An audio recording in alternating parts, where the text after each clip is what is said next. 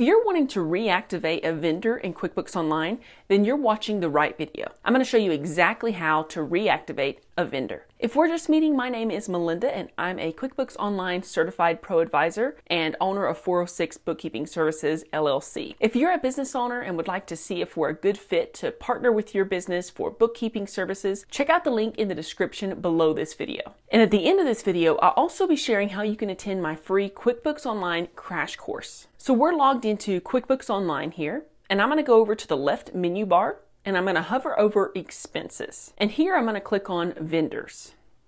Now we're going to go over here to the right, kind of center of the screen, and we're going to click on this gear icon. And here we're going to check this box that says include inactive. Now there are a couple ways that you can do this.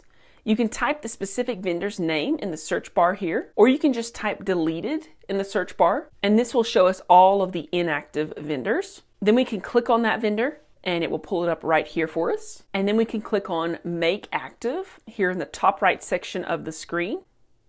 And now this vendor is active again. Or if we go back to all of the vendors, we can scroll down through the vendors to find the vendor that you're wanting to reactivate. And over to the right of that vendor, we'll click on Make Active.